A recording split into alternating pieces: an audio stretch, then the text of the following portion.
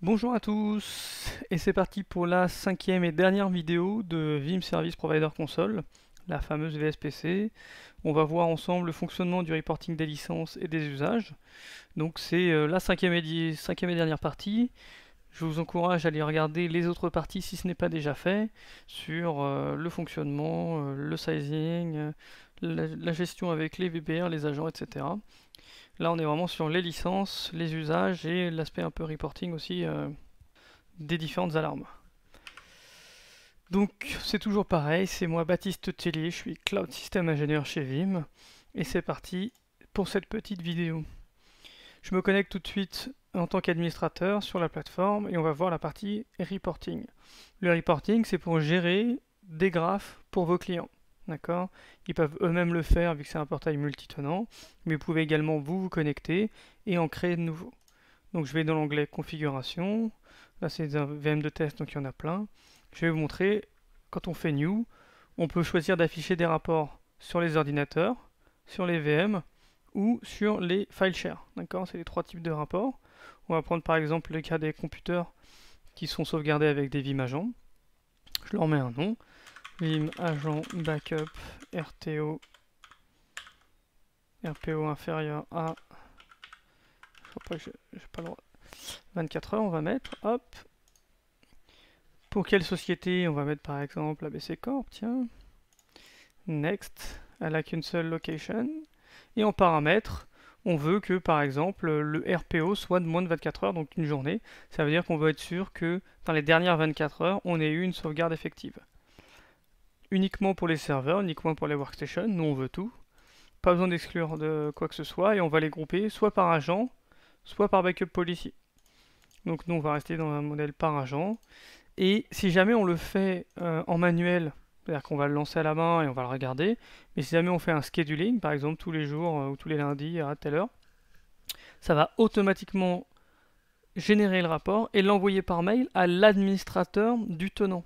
Donc le client, si vous avez référencé son adresse email au moment de créer son tenant, il va directement recevoir euh, un mail avec euh, les rapports qu'on a demandé.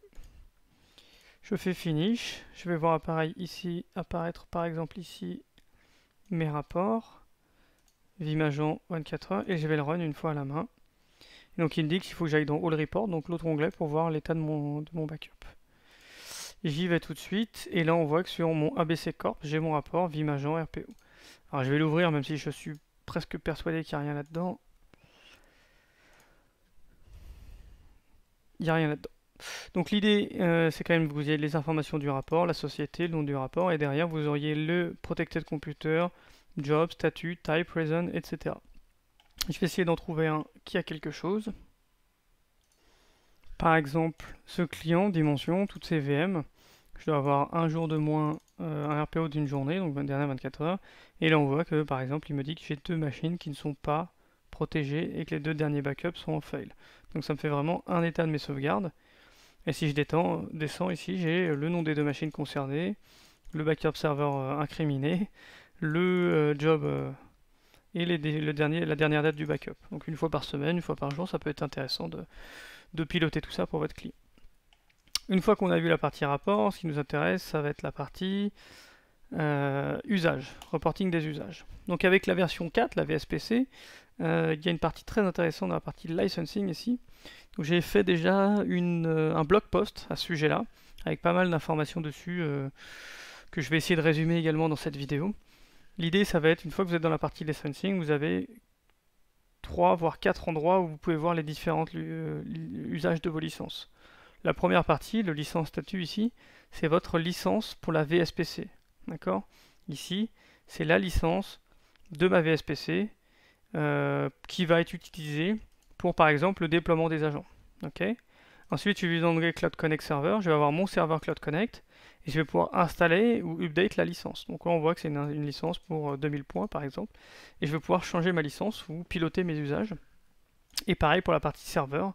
Si je veux piloter plusieurs serveurs clients, ici j'aurai la liste de tous mes serveurs avec la possibilité de voir le type de licence et de pouvoir faire une installation d'un nouveau fichier de licence. Ça c'est très très pratique pour, euh, la gestion centralisée d'un parc de VBR par exemple. Il y a la même chose avec les agents derrière. vous allez pouvoir voir tous les agents qui sont déployés sur le parc et vous pouvez révoquer la, clé de licence sur les agents qui, n'ont plus raison d'être licenciés. Pour finir, c'est la partie usage. Donc comment faire cet usage euh, Les deux nouvelles options de cet usage, c'est la partie ici automatique approval. Ça veut dire que automatiquement, vous n'avez pas besoin de vous connecter, ça va approuver euh, les métriques qui sont remontées par le produit, qui sont remontées par les différents serveurs VBR, Cloud Connect et Agent. D'accord? Et ici, vous pouvez aussi configurer qu'une fois que le report est approuvé, il va être automatiquement envoyé. D'accord? Donc vous pouvez mettre ici depuis votre serveur vague vers votre mail. Et donc, quoi qu'il arrive, maintenant avec la version 4, au premier du mois, vous allez recevoir le rapport. S'il est automatiquement validé, vous allez recevoir le rapport directement dans votre boîte mail.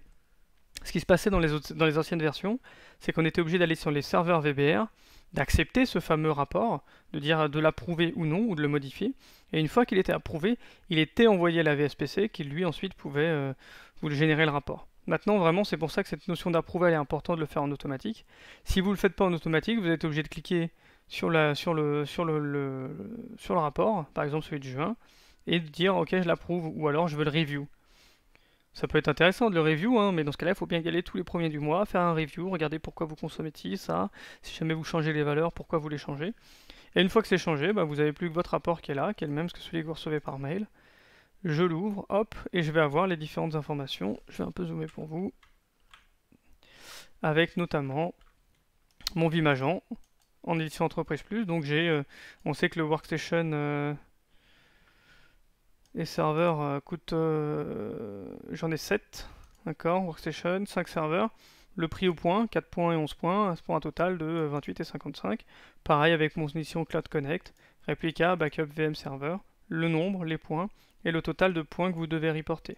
Après, vous avez aussi le détail, donc ça vous permet de faire le détail de produit, le détail en termes de points, et pour finir, le détail par organisation, si jamais vous savez qu'ABC Corp, vous lui facturez 73 points, dimension 42 points, et après, si je descends, bah là j'ai carrément le détail par société, ABC Corp, il y a de la VM, euh, il y a du, là, du Vim Agent, Dimension C, euh, il y a du serveur agent et du Cloud Connect Replica.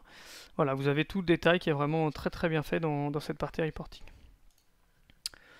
Voilà pour le fonctionnement, hein. c'était très rapide. Euh, on a vu la partie euh, reporting pour vos clients, ensuite reporting d'usage, la différente gestion des licences, c'est aussi simple que ça.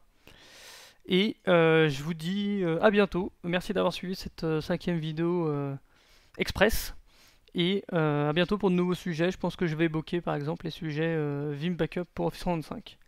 Merci beaucoup, au revoir.